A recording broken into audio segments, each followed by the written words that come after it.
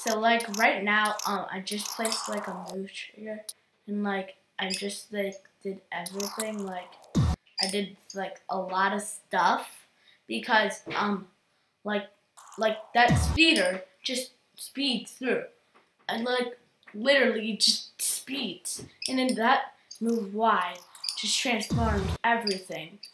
And I'm going to talk about how to use the move trigger sooner.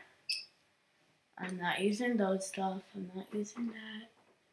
Oh, yeah, I'm doing that. And then, so then it'll be like, okay, so that's move Y is side to side. And yeah. And move X, move, okay. Wait. Wait. That does that. Oh my gosh. That's literally does that. Like, I literally just made the move trigger. Like, the move trigger just activated itself. Oh, now, I'm creating thank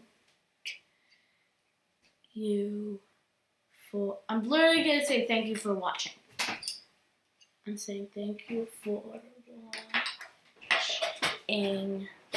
Thank you for watching. I speeded it up in the beginning. Okay, let's test the level. Let's go. Oh my gosh! Oh my gosh! Yeah, oh, that's a that. Yo, let's do this. We did it. We guys, we did it.